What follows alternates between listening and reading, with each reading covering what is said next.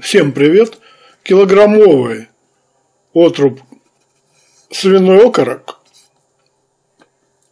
Я готовил из него два блюда. Я сначала вырезал бруски для первого блюда и обжаривал их на сковороде гриль. Получилось просто и вкусно. А из оставшегося мяса ну, я сделал жаркую, то есть жареную в казане свинину.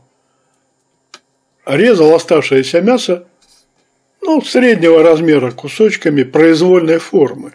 Ну, что-то мог удалить, если, например, жарка считал, что многовато. Я мог отрезать. Ну, вот таким образом подготовил это мясо. Ну, первый день я жарил на сковороде гриль, а сегодня буду жарить в казане. Оба варианта рекомендую.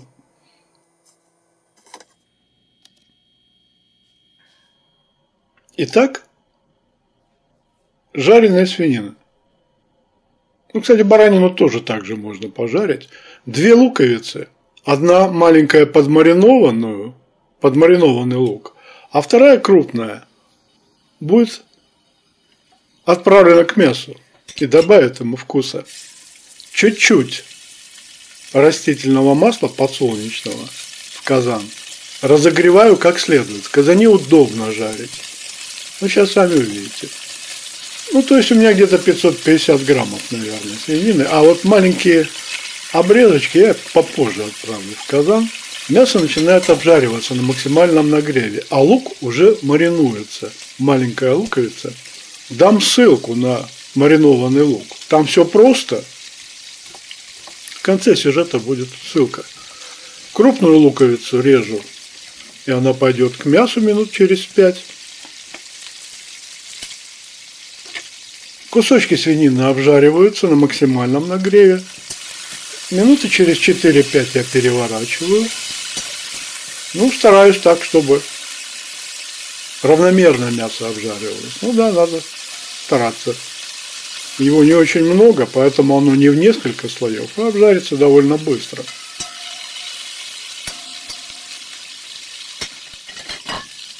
Ну, в общем, я жарю, помешивая, примерно 10 минут.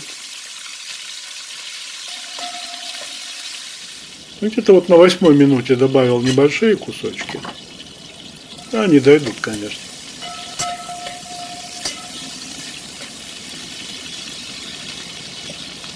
Вот мясо симпатично уже выглядит. Выглядит зажаристо.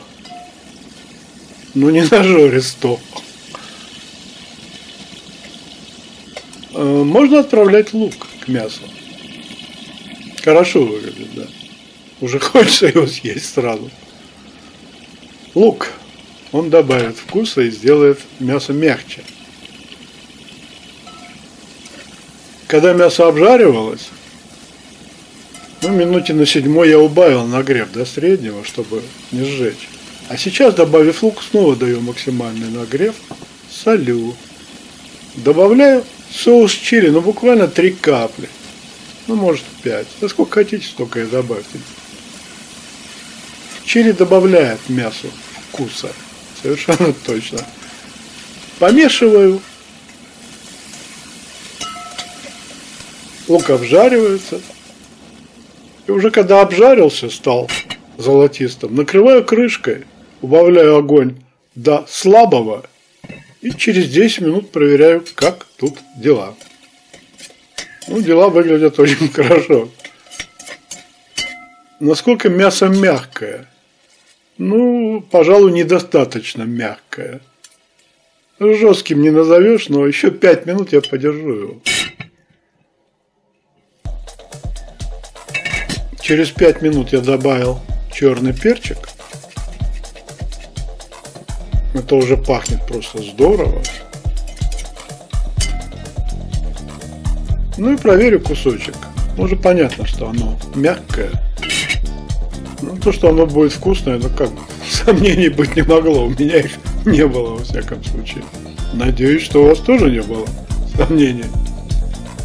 Я думаю, что вы приготовите и будет очень вкусно, точно так же. Кладу сверху маринованный лук. Вот у меня не порционная подача, а да, не забудьте конечные заставки посмотреть, дам ссылку на маринованный лук. Подача не порционная, как бы одно из блюд, стоящих на столе. Ну, кому надо, возьмет там кусочек 2-3. Маринованный лук и немножко зеленого лучка тоже для симпатичности. Очень вкусно. Рекомендую. Всем пока.